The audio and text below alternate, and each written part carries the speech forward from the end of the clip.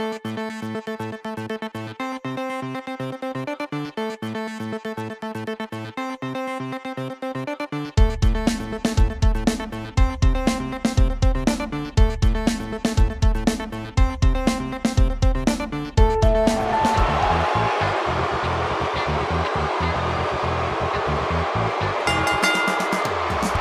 following contest is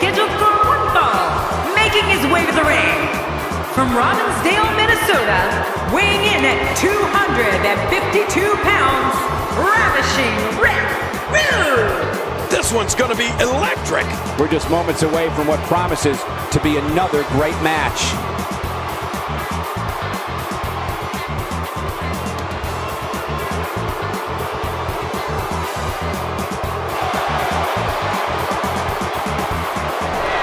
Oh boy. This looks like. Much more? How much more are you willing to pay to win this match? This is unreal. Uh-oh, trying to put him away. And this has got to be it. It's it. It's over. It's all over. That's the final elimination.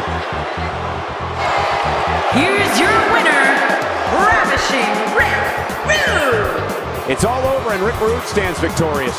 I'll tell you what, Cole. I could watch those two go at it each and every week. What a match. No surprise there. That was exactly what we expected when the match was announced for SummerSlam. What an incredible effort all around.